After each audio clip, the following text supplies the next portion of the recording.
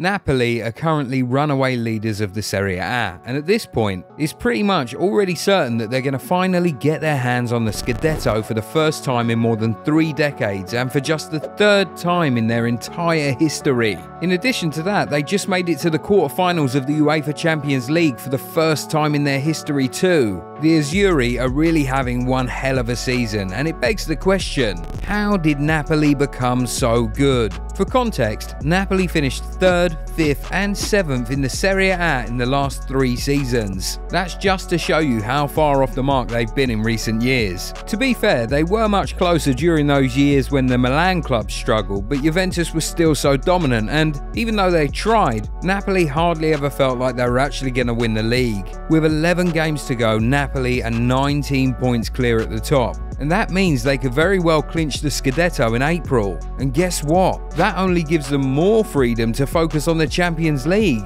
And with them having been drawn in what the fans say is the easier bracket, there are actual realistic talks of Napoli reaching the Champions League final this season. How the hell did we get here so quickly? Well, we have to start with the obvious one. The guys have done some incredible business. For just 10 million euros, these guys really got a wonder kid from Georgia who is now absolutely tearing Italy and Europe apart. Kvaratskhelia, or Kvaradona as the Napoli faithful call him, has been one of the most impactful purchases by a club in Europe's top five leagues this season. The 22 year old really hit the ground running since moving to Italy last summer, and he looks like he's going to end the season as the top assist provider in the Serie A. Mind you, he tops that chart while also being in the top three of the highest goal scorers in the league. He's one of the handful of players to have hit double figures for goals and assists in European leagues this season. And guess what? He's also joint top assist provider in the UEFA Champions League.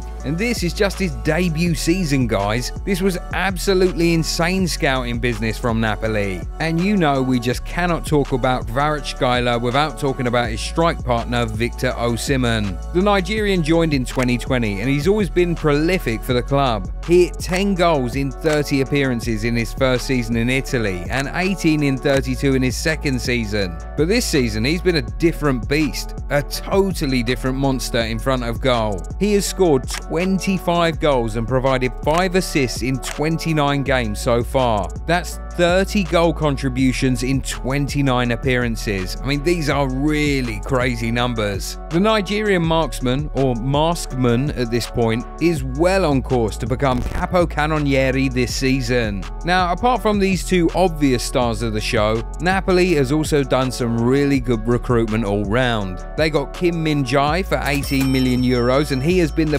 perfect replacement for Koulibaly. And they also got Zambo Anguissa, who's been such a force for them in the midfield. In addition to all that, they're also enjoying Giacomo Raspadori and Giovanni Simeone on loan. But then, all the credit for assembling these young talents and bringing the best out of all of them has to go to the gaffer, Luciano Spalletti. He was hired in 2021 and he has done such a tremendous job so far. After Napoli failed to secure a Champions League spot at the end of the 2020-2021 season, Gattuso was sacked and Spalletti was hired. He had been inactive for two years before that time, but when he got that call, he answered and got back into the coaching business. He started building a team from then and he got Napoli into the Champions League places in his first season in charge. Now, going into the 22-23 season, hardly anybody expected much from Napoli, especially because it seemed like it was going to be nothing more than just a transitional season. They let go of many players, including some who were said to be the spine of the team, like captain Lorenzo Insigne, veteran centre-back Kalidou Koulibaly, richly experienced goalie David Ospina, and the club's all-time top scorer Dries Mertens. Following these exits and a subsequent replacement with younger and more inexperienced players, many fans thought that if Napoli could finish in the top four, it would be considered a good season for them. But Spalletti had much higher aims. He started sending a message early in the season, both in Italy and in Europe. In their first Champions League game of the season, Napoli beat last season's finalists Liverpool 4-1.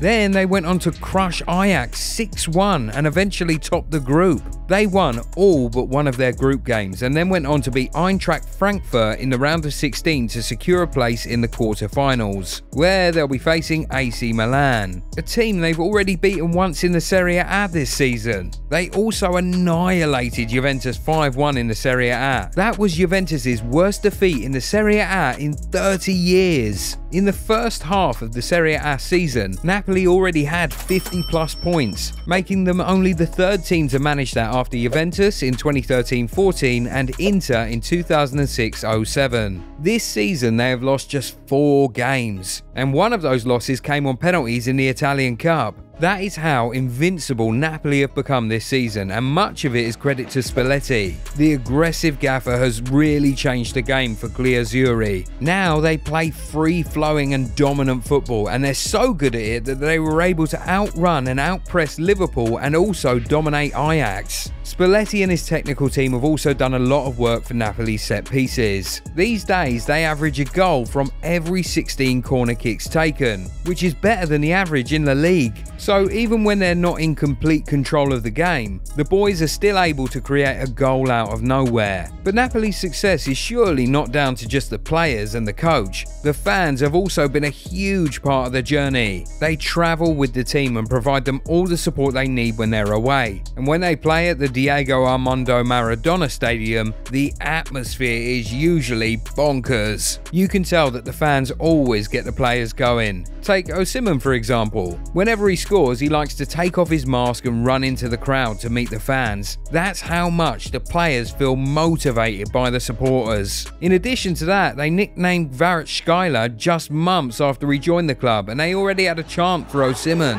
At this point, it's already certain that those fans will be rewarded with the Scudetto for the first time in 33 years. But do you think that Spalletti and his men will be able to add a first ever UEFA Champions League title to that this season? Share your thoughts with us in the comments. While you do that, make sure to give the video a thumbs up if you enjoyed it and subscribe to the channel too. Also, turn on the bell notification so that you never miss out on new content. We'll catch you in the next one. Bye!